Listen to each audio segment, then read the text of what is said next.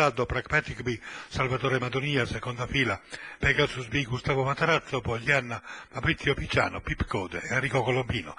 il galoppo del numero 5 Passepartout Griff e del 2 Phaeton SB, Princess Wild Pip al comando avanti a Prues, in terza posizione Pisana, Noff in quarta,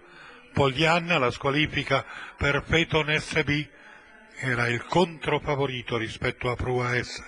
squalificato anche Passepartout Griff, squalificato anche Pip Code, Prua S la favorita non tarda a presentarsi sulla battistrada Princess Wild Pip.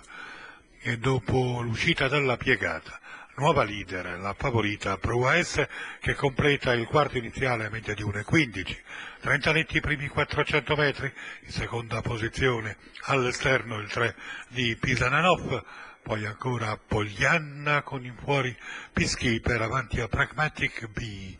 e Pegasus B, 44,7 per i 600, all'avanguardia Prua S, seconda all'esterno Pisananov, così si arriva al paletto di metà corsa, 31,5 il secondo quarto, 1,01,5 per completare gli 800, alla media di 1,16,9. Dal gruppo sposta Pragmatic B, sempre Prua S all'avanguardia, il giro è completato in 16,9 con Prua S avanti a Pisananov, poi Princess Wild Pip all'esterno Peacekeeper su Pragmatic B, poi Poglian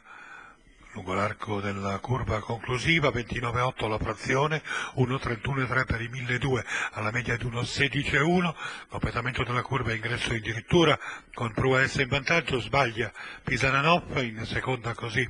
Peacekeeper, quantomeno un'incertezza per la gioventà di Carlone, in evidenza Prua S per la seconda Peacekeeper con all'interno Pisananov. E allora Prua S che va a concludere su Pisananov Peacekeeper